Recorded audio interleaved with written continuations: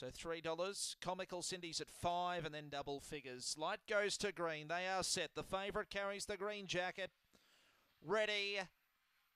Racing, Super Scrub got away fairly. Oh, he's in trouble though, pushing through the inside. Time goes by, will lead from Mitchell's last to second. Around them then Comical Cindy. Super Scrub winds up now, he's making ground, but still a bit of work to do. Loose Penny next payroll. And then came Laughing Les and was a genius rounding the turn. And in front, time goes by. Off its back, Mitchell's last. Time goes by, clear. Time goes by, one a length and a half. Mitchell's last second. Comical Cindy third. Super Scrub was in bother at